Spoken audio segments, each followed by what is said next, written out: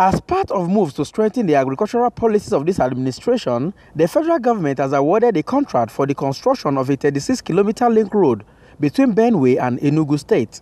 Minister of Power, Works and Housing Babatunde Fashola made this known after the Federal Executive Council meeting held at the ASO Presidential Villa, Abuja on Wednesday.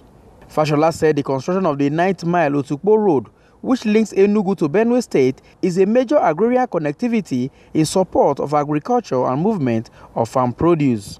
It was for the uh, ninth mile uh, Ugbokolo section of the ninth mile Otukporo that links Enugu State to Benue State.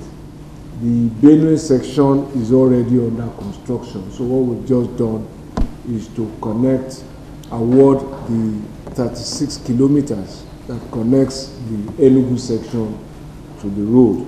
This is a major agrarian uh, connectivity in support of our agricultural policy. So council approved that memorandum.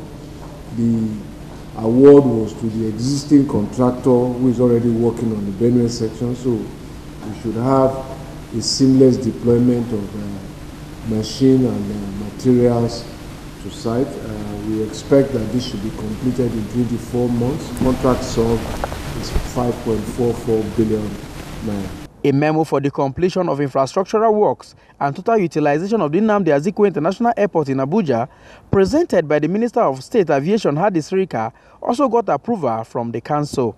So in our efforts to uh, deal with those challenges, we're uh, putting up an independent uh, power uh, system at the airport, which has been uh, approved by FEC uh, today.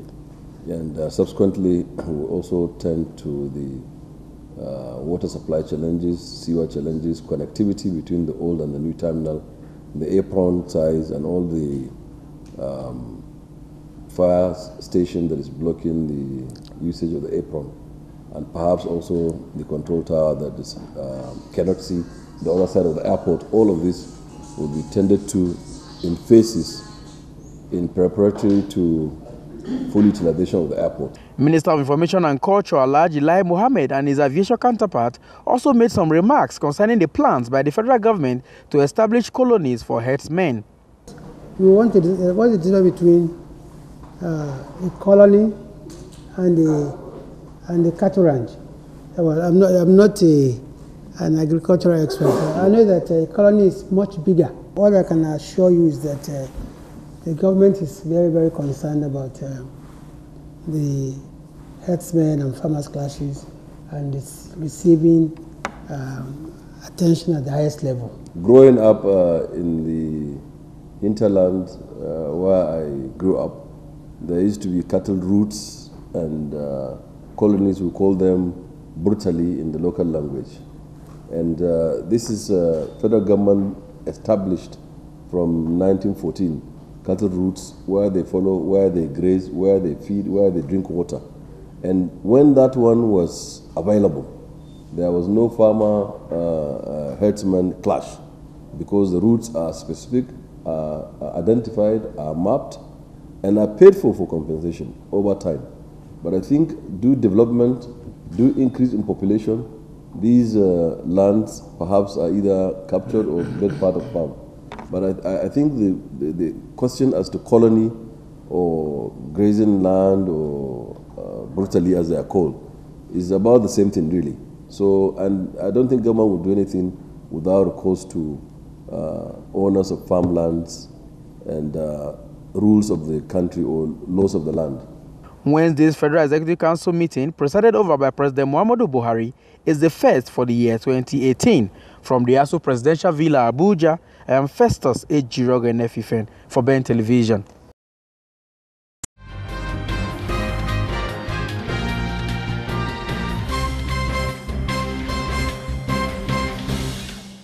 Governor of Benue State Samuel Ortom, who made the announcement after a meeting with the federal government, other state governors, and security agent that lasted for more than six hours in Abuja.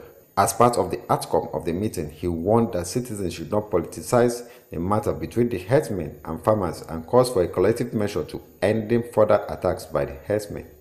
There is now synergy with the security agencies, the federal government, and the state government to support this challenge. There are more deployment of the military, more deployment of the police, uh, special forces of the police.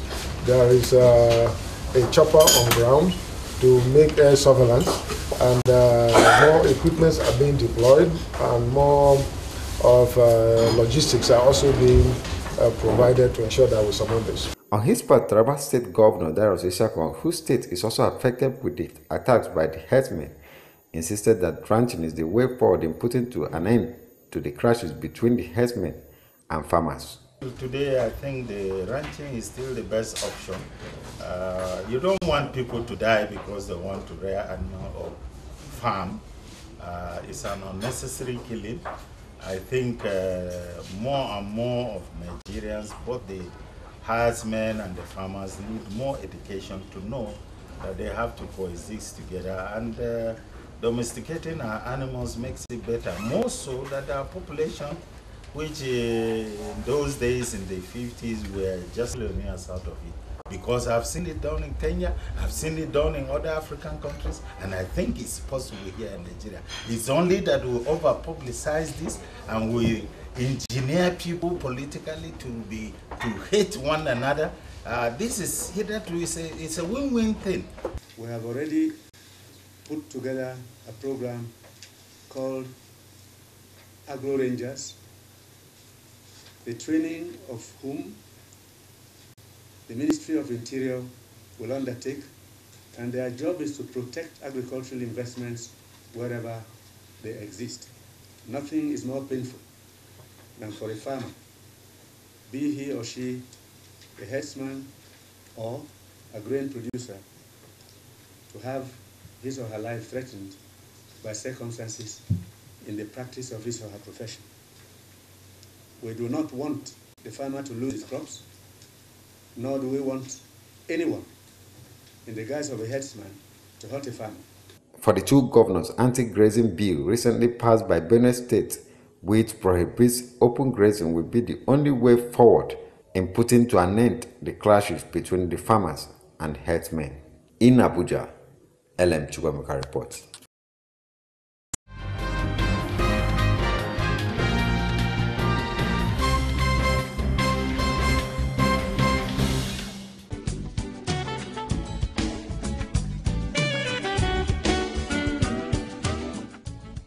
Lovely place, right?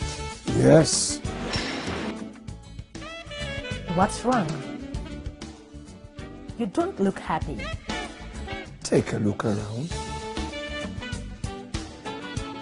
Why can't my hotel be like this? I knew something was wrong, but I've got solution.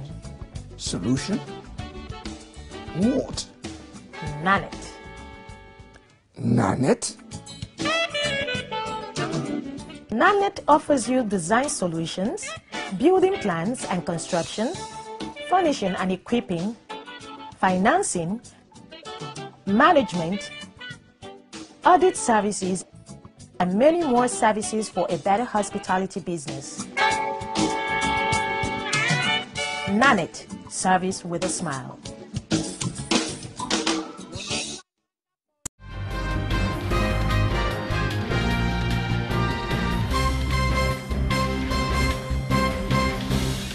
Joint Admissions and Matriculation Board JAMB had declared low registration of candidates even as it faced the 2018 Unified Tertiary Matriculation Examination UTME from March 9 to 18, 2018.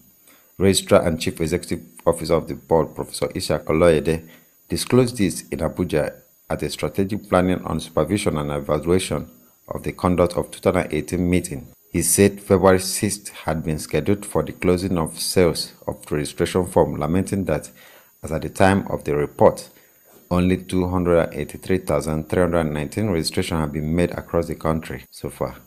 Our of form between 6th of December and 6th of February.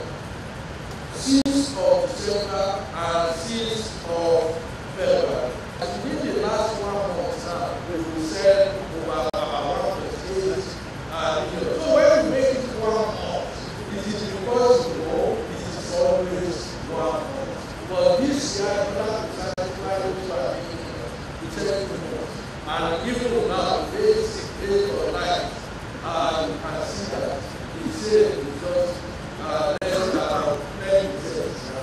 further lamented that in the last year examination regime, candidates spent about 100 million for correction of errors caused by computer-based test centers, stating that the board had gone ahead to correct the situation in advance to the candidates.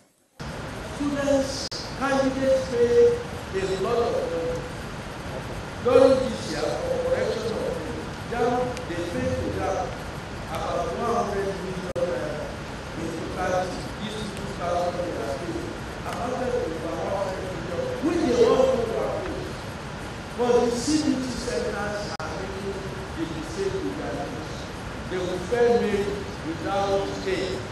In Abuja, LM Chukwemeka reports.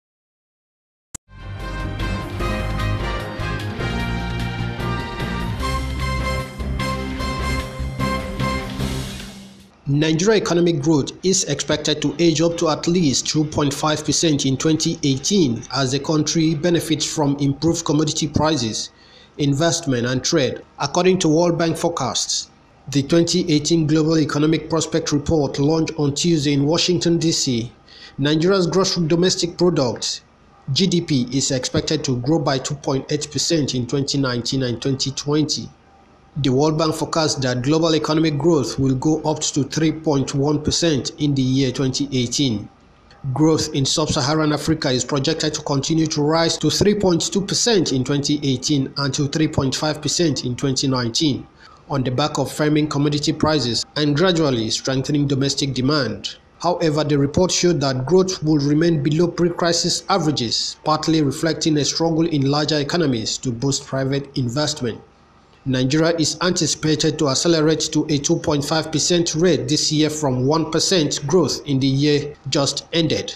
An upward revision to Nigeria's forecast is based on expectation that oil production will continue to recover and that reforms will lift non-oil sector growth. Also in the report, South Africa is forecast to kick up to 1.1% growth in 2018 from 0.8% in 2017.